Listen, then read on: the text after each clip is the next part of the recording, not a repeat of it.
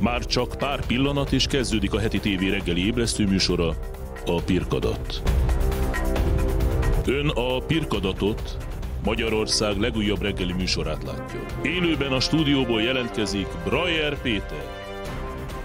A Pirkadat mai vendége Rendszer Erzsébet a budapesti tízes választókörzet, eh, választókerület elnöke, és hogy miért hívtuk meg, már is mondom önöknek, megígértem önöknek, hogy akkor, amikor pontosan a fordulóponthoz, a feléhez jutunk, tehát két év múlva választások vannak, akkor mi előre elkezdjük, és a választókerületek elnökeit meghívjuk, egy kicsit felfrissíteni, hogy kik is azok, akik ígérhetnek, meg akiken számon lehet kérni. Kezi csokolom, szép jó reggelt kívánok! Jó reggelt kívánok. Szerdán a kora reggeli órákban. É, hogy sikerült a választókerületét egyben tartania, és ha most nyomnánk meg a gombot, és most lennének a választások, milyen eredményt sikerülne elérnie? Hát a 2018-as választást azt ugye úgy sikerült elveszítenünk, illetve direkt- úgy, én direkt- úgy énekelték ki a szánkból a sajtot, én inkább ezt mondanám, hogy teljes baloldali összefogás volt Óbudán. A matematika az egy egyszerű számtani képlet, összeadódott minden baloldali pártnak a szavazata, és így került be a sokat emlegetett, napjainkban is sokat emlegetett Szabó a országgyűlési képviselőként Óbuda képviseletében. Hát, hogy mi a véleményünk erről, azt most kíváncsi rá? Szégyeljük. É, na de én valamit nem értek. Ön az 1956-i előtti eseményekkel is foglalkozott. Nincs ember a választókerületében, aki nem ismeri önt, aki nem ismeri a munkásságát. Akkor ez egy pillanatnyi, sikerült azt a sajtot kiénekelni, és többet nem ereszti el a sajtot? Mire készül? E, Nyilván nem csak a, a, az összefogás volt az oka, hanem mint ö, ahogy ma is gyártják az álhír, álhíreket, ugyanúgy gyártották rólam is az álhíreket. Mit lehet önről kitalálni? Ó, hát nem nagyon tudtak semmit sem, mert hogy az én életem az egy nyitott könyv, és én a mindennapjaimat is a kerületben élem, és találkozom az emberekkel. Ezért aztán kreáltak álhírt, megvádoltak egy önkormányzati lakás kiutalásával, amit ha valaki ismeri az önkormányzati törvényt, akkor egy képviselő számára ez lehetetlen. Tehát nem történt ilyen, de ezt mantraszerűen mondják, a mai napig is egyébként. Tehát nekem ebben nagyon sok vitám van a sajtóval, mert össze-vissza hazudoznak, menyemről, vejemről, a fiam házasságáról. Hát akkor Semmi- hála Istennek van nagy családja, van tehát családom, van kiről mit de kitalálni. se menyem, se vejem, se házas gyermekem nincsen, és önkormányzati lakásunk sincsen, a gyerekem a saját De köszöni, lakása. jól van. Köszönöm szépen, jó vagyok. Hát ez egy régi történet, ez egyetlen egy, amivel engem bombázni tudnak. Tegyék. Hát most nézze, ha valaki ennek még bedől, miközben millió helyen megcáfoltuk, ne, nem tudok mit csinálni. Tehát ez annyira alpári, hogy minősíti a, a Hát én bízom benne, hogy ön nem fog ilyen mélyre lesüllyedni, tehát akkor a legjobb megoldás nem odafigyelni és Így mással van, foglalkozni. így van.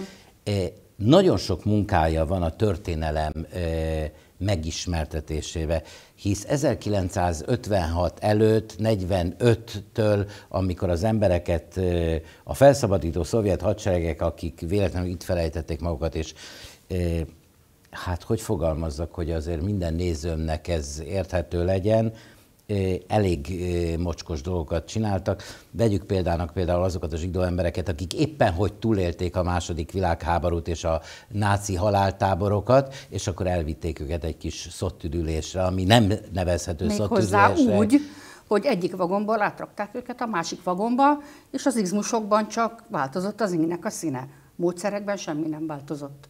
Sőt, hát ugye Stalin országában sokkal korábban voltak már munkatáborok, koncentrációs táborok, Hát ő, Hitler ő, egy, országában. ő egy tömeggyilkos volt, Mint ahogy Hitler ebbe. is az volt. De mégis hogy sikerül ezt a történel, ezeket a történelmi tényeket, mert az idő azért megszépíti, hozzátesznek, átírják a történelmet, a valóságot visszaadni a mának és a jövő nemzedéknek, hogy mire kell odafigyelni, hogy ez ne fordulhasson Ó, hát elő. azért a történelem az mindig reprodukálja önmagát. Nekem van egy ö, örökkérvényű mondatom, amit az apukámtól örököltem, hogy az a társadalom, amelyik nem ismeri a múltját, az nem tud a jelenben élni, és nem fogja tudni építeni a jövőt. Ugye Magyarországon közel 50 éven keresztül elhallgatták a valós magyar történelmet. Elhallgatták, hogy itt több mint 800 ezer ártatlan embert elhurcoltak a Gulag lágereibe, innen közel 300 ezer honfitársunk soha nem tért haza, ott pusztultak el. A többiek pedig megnyomorítva mindenféle betegséggel, haladrendű állampolgárként élték itthon az életüket 8-10-12 évnyi gulág szenvedés után. És erről nem lehetett beszélni. Nem volt lehetőségünk sem kibeszélni 1989-ig vagy 90-ig. A, hát rendszerváltozásnak hívjuk, én módszerváltozásnak hívom, és tulajdonképpen 2010-ig sem nagyon volt rá lehetőség, miközben a politikai üldözötteket tömörítő szervezetek tették a dolgokat, próbáltak könyveket kiadni, emlékműveket állítani, emléktáblákat állítani. Hát a magyar sajtó figyelmét legfeljebb a lecsó főzőverseny szintjén érdekelte bármi is. 2010 után pedig hát aztán a Fidesz kormány tette lehetővé, hogy egy olyan irányba forduljon az emlékezet politika, ahol végre ki lehet beszélni a be nem gyógyult sebeket, fel lehet eleveníteni a múltat, és valóban lehet róla őszintén beszélni. 2012-ben pedig benyújtottam egy egyéni törvényjavaslatot, és november 25-e azóta a Szovjetunióban hurcolt magyar politikai rabok és kényszermunkások emléknapja. Én azt gondolom, hogy ettől a pillanattól kezdve nem lehet már letagadni hogy mi történt itt több mint egy millió emberrel. Percekkel ezelőtt azt mondta, hogy az izmusoknak csak a, csak a színe más. Ez egy nagyon érdekes, hogy például a zsidó államban, ami éppen ma ünnepli 70, 72. életévét, ami egy nő életében nem túl fiatal, de egy ország életében nagyon fiatal. Ugyan volt már egy zsidó állam, ez az újkori zsidó állam, ott is a túlélők, főleg a magyar származású túlélők soha nem meséltek az utódoknak arra, hogy mi történt velük. És ezt miért mondom, mert nekem volt egy nevelőapám, édesanyám második férje, aki az ötödik kerületbe csak lement kenyérér, és évek múlva tért vissza. És a Szovjetunióból volt. Úgy csodálkoztunk is, hogy miért tud ő oroszul olyan jól, de aztán ezt soha nem beszéltük ki, és nem szolgáltatott erről különösebb, és nem csak ő, hanem én nagyon sok embert ismertem meg, az évek alatt, akik megjártak a, a Szovjetunió poklait, illetve a munkatáborokat, mert ezek nagyon kemény lágerek és munkatáborok voltak, és mégsem beszéltek róla. Vajon akik túlélők ma még vannak közöttünk, akik túlélték ezt, ők már szabadabban beszélnek, vagy még mindig inkább tartózkodnak, mert azt hiszik, hogy még mindig ebből baj lehet? Egyrészt van, vagy volt számukra egy nagyon súlyos tehertétel a hallgatás. Tehát mindenkivel aláírattattak egy papírt, aki visszatért élve a lágerből, hogy soha, semmikor senkinek semmit nem mondhatnak, mert nem csak őket fogják visszavinni, hanem a családtagjaikat is. Ez egy olyan fenyegetés volt mindegyikőjük számára, hogy hallgattak egészen 1990-ig. Közben ugye azért nagyon sokan meghaltak. Aztán sorra alakultak a politikai üldözött szervezetek, ki így, ki úgy dolgozta fel azt a poklot, amit megjárt, és hát nem vagyunk egyformák. Valóban van, aki a mai napig el tudja mondani, hogy mi történt, milyen lágerekben volt, milyen kegyetlenkedésekben volt része, milyen munkát kellett végeznie. Van, aki a mai napig egyszerűen képtelen elmondani. Hát ez személyiségfüggő is, de hála Istennek azért a sebeket azt ma már van lehetőségünk begyógyítani. Ehhez nyújtott segítséget a két és fél éven át tartó gulág emlékév is, ami, ami azért nagyon sok mindenre adott lehetőséget ebben az országban konferenciák megtartására, tanulmányi versenyek megtartására, a tankönyveknek egy kicsit az átírására, a könyvek kiadására, és hát nem utolsó sorban létrejött Magyarország központi emlékműve a szórakész megvalósításában Óbudán. Ma mindenki úgy hívja, hogy Gulágó Beliszk, de ez a szovjet megszállás áldozatainak emlékére állítódott. Egy 12 méter magas fekete gránitó beliszk, ami négy nyelven feliratozva itt marad utókornak mementó az idők végezetéig. Nekem mindig arra jár a szám, hogy azt mondjam, hogy képviselőasszony, de ha most képviselő lenne, hányszor szólalt volna már föl a parlamentbe ez alatt a kadencia alatt, hogy nincs megelégedve az oktatással, hogy még mindig nem elég mélyen oktatják ezeket az emlékeket, hisz a mai fiatalok között, ha kimennénk az utcára, és ugyan most nem nagyon vannak az utcán, de megkérdeznénk, akkor tízből talán kettő, ha tudná, hogy miről beszél. Biztos, hogy minden lehetőséget megragadtam volna, hogy én, ennek hangot adjak. Egyébként a mai napig meg is teszem, és igyekszem a média figyelmét is ráirányítani erre a témára, minden adandó alkalommal, amikor én ezt megtehetem. És amikor a beszélgetésünk elején én azt mondtam, hogy a történelem visszaköszön és reprodukálja önmagát, mert nem tudjuk kibeszélni magunkból a múltat, nem tudom, tudja-e, hogy Gelsenkirchen városában, Németországban Lenin szobrot kívánnak állítani.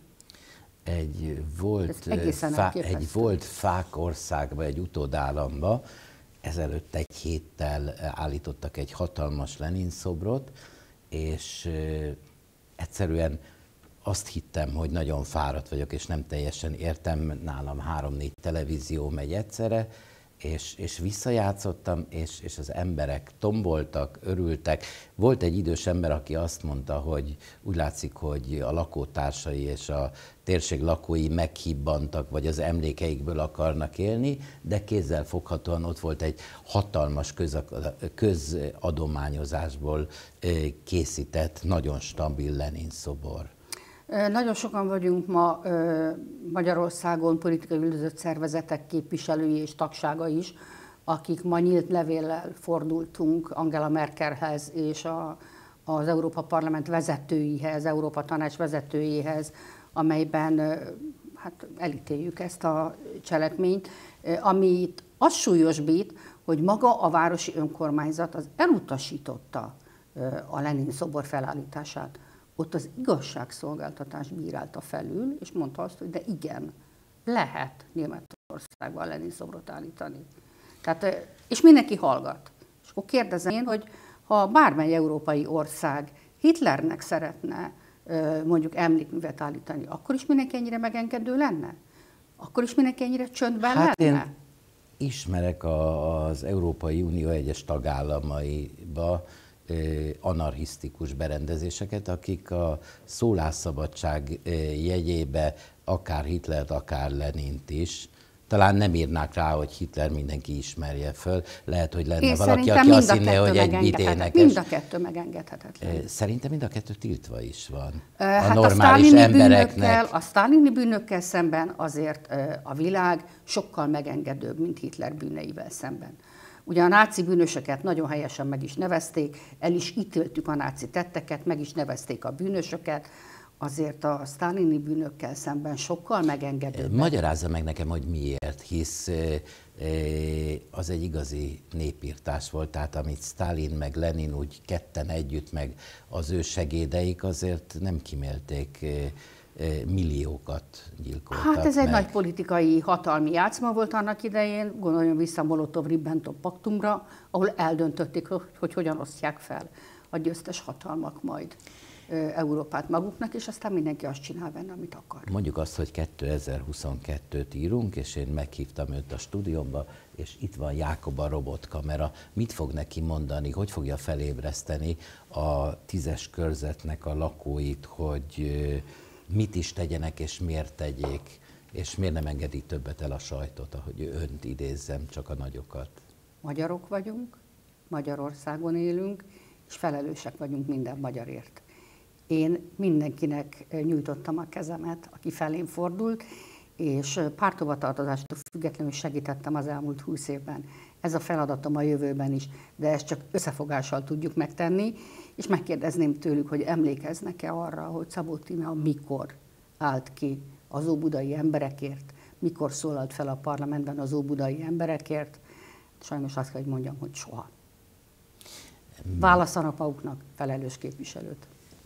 Egy dolog biztos, hogy egy profi politikus, hisz pontosan tized másodpercre kihasználta az önnek járó időt.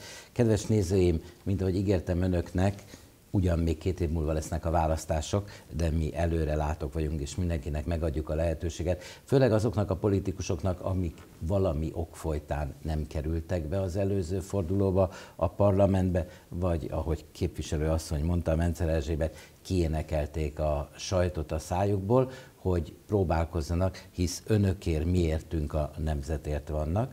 Arról nem is beszélve, a politika úgy érdekes, hogyha történik benne valami, és a szereplők időnként változnak, úgyhogy eleget volt már e, ellenzékbe. Itt az ideje, hogy újból a parlamentből köszönthessünk ön. Kedves nézőim, az elmúlt e, pontosan negyed órában, 15 percre Mencer Erzsébet korábbi parlamenti képviselő, ma a budapesti tízes választókörzet elnöke volt stúdiónk vendége. Visszavárjuk, és arra kérem, főleg azért, mert nekem van 138 rokonom, akit a hitleri Németország áldozatai lettek, sőt, ma még élő 90 év fölötti édesanyám ma is minden nap még emlékszik arra, hogy mi történt vele. Jó Isten éltesse még sokáig őt. emlékeztessük a magyar embereket, hogy mi minden ment el a fejünk fölött, és hogy semmiféle izmusoknak soha többet ne legyünk hívei, és ne engedjük őket garázdalkodni az Úgy életünk legyen. fölött. Előzetesek, és már is jövünk. Visszatartsanak velünk.